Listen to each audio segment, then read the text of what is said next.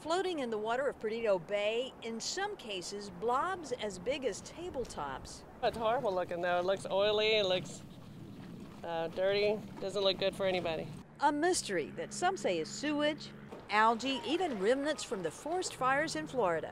And I promise you, I thought my septic tank was overflowing. It smelled so badly. Susan Wells has a house on the bay, her beach covered with the stuff. This was not a, a plant smell. This was not, you know, your corn bin and your corn's gotten rotten. This was your cows have been in the house. I mean, this was bad. And concerning.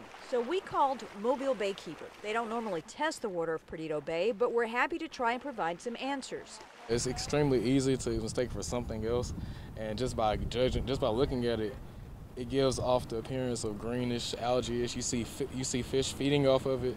Victor Fox took a sample. We also gave him another sample that he will take back for diagnostic testing.